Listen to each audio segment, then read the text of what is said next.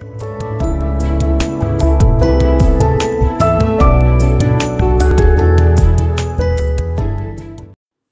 and welcome to my nutritious recipes मेरे channel पर आपका स्वागत है।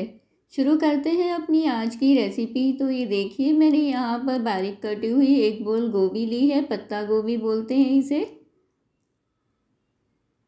अब हमें इसमें डाल देना है आधा चम्मच नमक। मैंने पहले से गोभी को एक बार वॉश कर दिया है।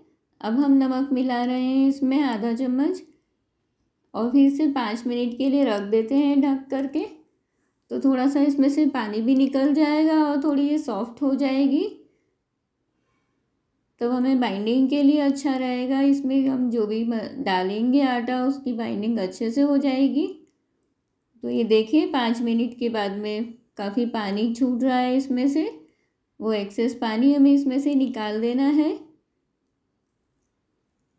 तो इस तरह से हमें इसे स्क्वीज़ करना है और पानी निकाल करके गोभी दूसरे बर्तन में ले लेनी है। काफ़ी सॉफ्ट भी हो जाती है इस तरह से करने से। ये देखिए, इस तरह से आपको गोभी को कर देना है स्क्वीज़ अब हम इसमें डालते हैं अपने दूसरे मसाले।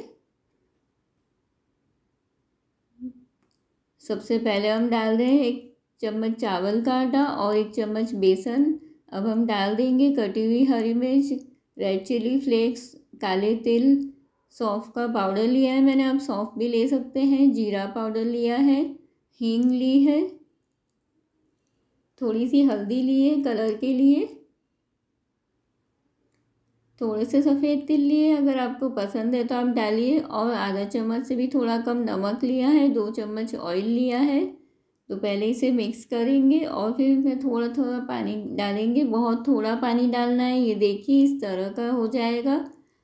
तब हम रख देंगे पाँच मिनट के लिए तो पाँच मिनट में थोड़ा सॉफ्ट हो जाता है। अब हम इसमें डाल देंगे टमाटर।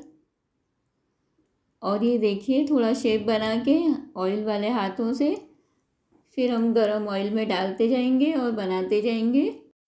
लो टू मीडियम फ्लेम पर हमें इन्हें फ्राई करना है। तो ये देखिए, काफ़ी अच्छे कटलेट वड़े बन के तैयार हुए हैं गोभी के।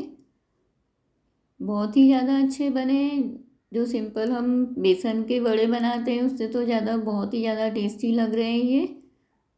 बाहर से क्रिस्पी है और अंदर से एकदम सॉफ्ट है। ये देखिए।